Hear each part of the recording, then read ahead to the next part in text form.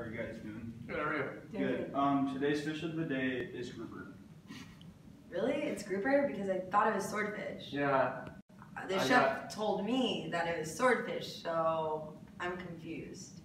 I heard what, I heard what she All right, I'll go check with the chef. That's a good right. idea. Thanks. Hey chef, I have some miscommunication going on between the servers and me. Um, they thought the fish of the day was swordfish. I thought it was grouper. Uh, it is swordfish. No, I'm the manager. I make the calls. Grouper is cheaper, and you can do stuff in the kitchen to make make it taste just as good as the swordfish, right? Why would have I ordered the swordfish already if we're gonna serve grouper tonight? I don't know. That's your mistake.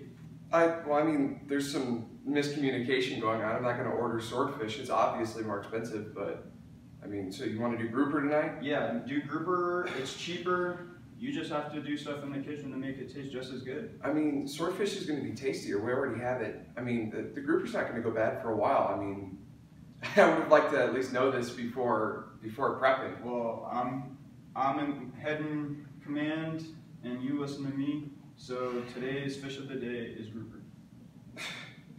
Okay, okay. Hey, what's up, Daniel? So what's, what did you guys come to a conclusion at? Me and Chef Zach decided that grouper is the fish of the day. So it's not swordfish anymore, so we were wrong. Yes, you guys were wrong. It is grouper. And how much are we pricing it at? Ten dollars. Heard that. Okay, sounds good. All right. Hey Zach, sorry about earlier. We need to plan more often instead of just arguing all the time, and we need to negotiate better on what's going on and what the deal of the day is. Absolutely. Well, I mean, I, I was already getting everything planned out, but um, from here on, would you like an inventory sheet? Yes, I would. This way I can see what needs to sell first, and that'll make it easier between us to decide what the fish of the day is. Okay. Otherwise, just uh, come communicate with me, and we can talk about what's what we're gonna serve.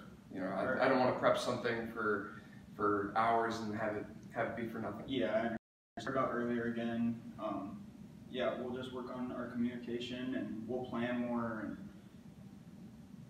Okay.